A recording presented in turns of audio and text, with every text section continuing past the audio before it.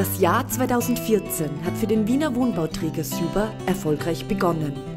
Das Wohnhausprojekt in Grünlage in Hetzendorf wurde im November letzten Jahres vollendet. Und bereits bei Fertigstellung waren 24 von 26 Wohnungen verkauft. Kein Wunder bei so einer Aussicht.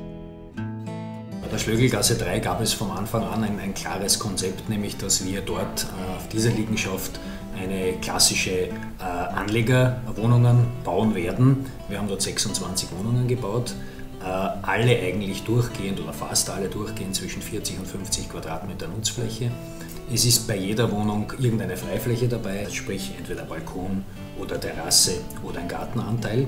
Und es ist uns auch gelungen, die Kaufpreise äh, netto rund um 3000 Euro zu halten, sodass der Endpreis der Wohnung netto ca. 130.000 bis 150.000 Euro war. Das sind ideale Voraussetzungen für die Anschaffung einer Anlegerwohnung. Denn trotz einem Rückgang der Renditen ist die Nachfrage weiterhin sehr groß.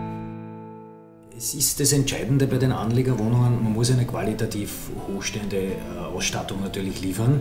Es muss aber umgekehrt ja auch sehr zweckmäßig sein. Also das heißt, zum Standard gehört natürlich mittlerweile Parkettboden und all diese Dinge. Und zum Standard gehören auch Kellerabteil, Fahrradabstellraum und Tiefgarage mit 29 Pkw-Stellplätzen.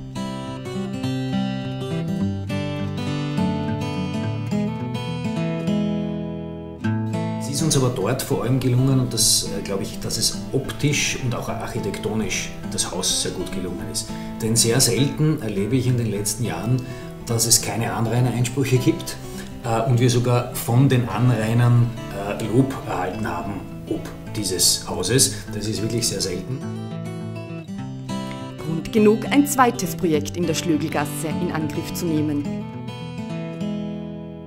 Wir haben die Liegenschaft eben jetzt gerade erst angekauft, also der ganze Planungsprozess ist jetzt im Laufen, wobei wir da die Dinge nicht neu erfinden müssen, sondern ein sehr ähnliches Konzept und ähnliche Planung umsetzen werden.